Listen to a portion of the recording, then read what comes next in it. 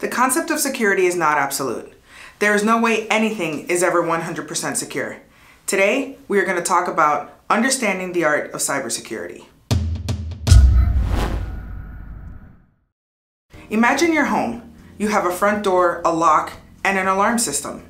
You put the sticker on your front glass and the sign in your lawn that your home is being monitored by an alarm company. All the precautions you've taken might deter a casual criminal, but not a sophisticated one. The same thing goes for your digital home. You can mitigate the casual attacker, but the sophisticated and more advanced that has endless time and funds will continue attempting the attack until they are successful.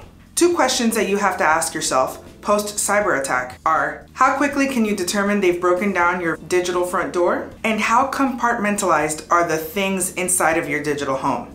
The CIA Triad is a security model that has been developed to help business owners think about the various parts of IT security.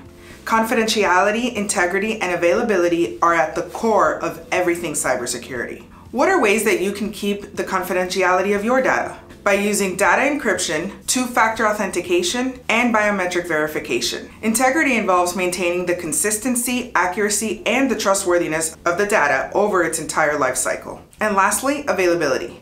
The information needs to be readily available for authorized parties. It doesn't matter what type of business you own or the size of your business. All businesses are susceptible to cyber attacks. At The Bunker, we are ready to help you move your business from danger to a safe place with us.